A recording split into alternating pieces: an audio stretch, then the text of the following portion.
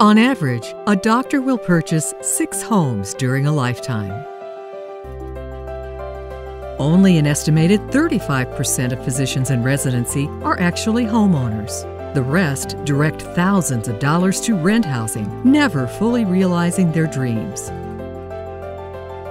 There is a path to financial independence. The time is now. It is possible to qualify for a mortgage while paying off a student loan.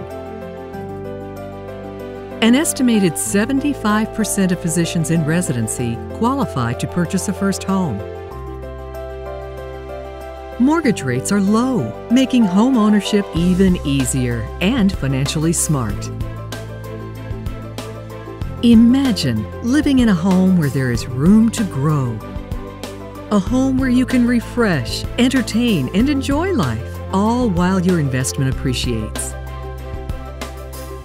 You already invested years of education and training to be a doctor. Now is the time to invest in the rest of your future.